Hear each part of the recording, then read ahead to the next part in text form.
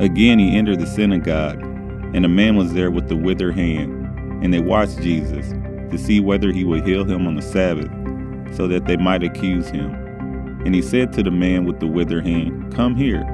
And he said to them, Is it lawful on the Sabbath to do good or to do harm, to save life or to kill? But they were silent. And he looked around at them with anger, grieved at their hardness of heart, and said to the man, Stretch out your hand. He stretched it out, and his hand was restored. The Pharisees went out and immediately held counsel with the Herodians against him, how to destroy him. Jesus withdrew with his disciples to the sea, and a great crowd followed from Galilee and Judea and Jerusalem and Idumea, and from beyond the Jordan and from around Tyre and Sidon. When a great crowd heard all that he was doing, they came to him and he told his disciples to have a boat ready for him because of the crowd, lest they crush him. For he had healed many, so that all who had diseases pressed around him to touch him. And whenever the unclean spirits saw him, they fell down before him and cried out, You are the Son of God. And he strictly ordered them not to make him known. And he went up on the mountain and called to him those whom he desired. And they came to him and he appointed twelve, whom he also named apostles, so that they might be with him and he might send them out to preach and have authority to cast out demons.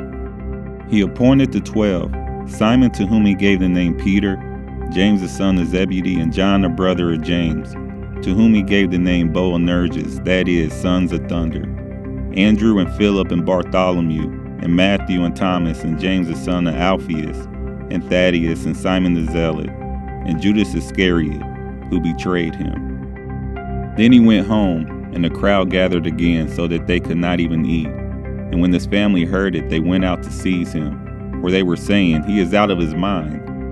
And the scribes who came down from Jerusalem were saying, He is possessed by Beelzebul, and by the prince of demons he cast out the demons. And he called them to him and said to them in parables, How can Satan cast out Satan?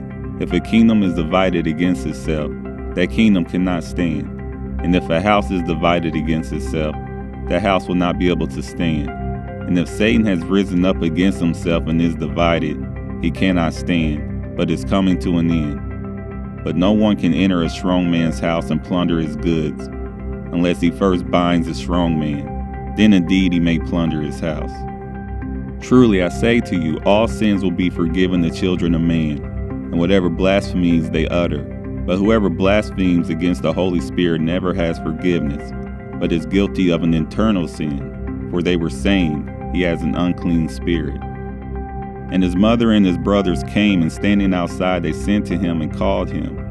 And the crowd was sitting around him, and they said to him, Your mother and your brothers are outside seeking you. And he answered them, Who are my mother and my brothers?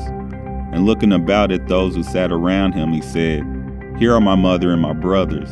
For whoever does the will of God, he is my brother and sister and mother.